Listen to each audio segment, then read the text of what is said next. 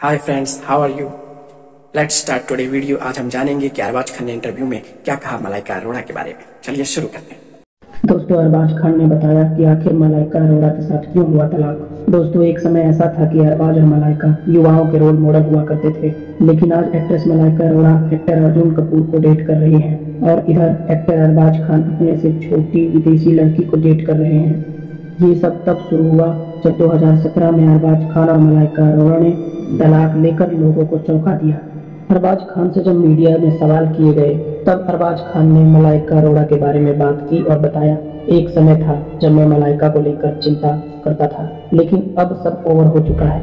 हमारा तलाक हो गया और जब तलाक हो जाता है तो आपको पिछली ज़िंदगी को भूलना पड़ता है और आगे बढ़ना पड़ता है।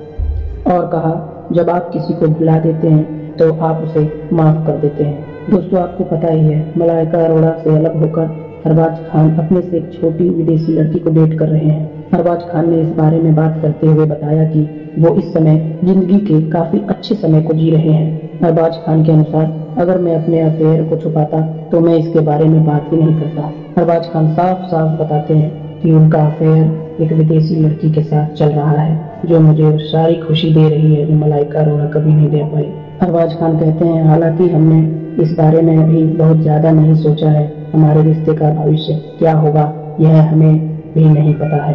अभी हम केवल इतना ही जानते हैं कि हम साथ हैं और मैं उसके साथ बहुत खुश हूँ, लेकिन मलाइका के साथ मैं इतना खुश कभी नहीं रहा।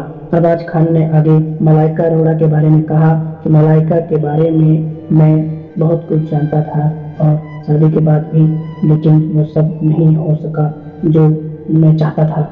मलाइका के बारे में एक्टर ने कहा कि उन्हें हर रात बस मुझसे शिकायत हुआ करती थी। कब हर दिन लड़ाई हो तो रिश्ते खत्म कर देना ही उचित है।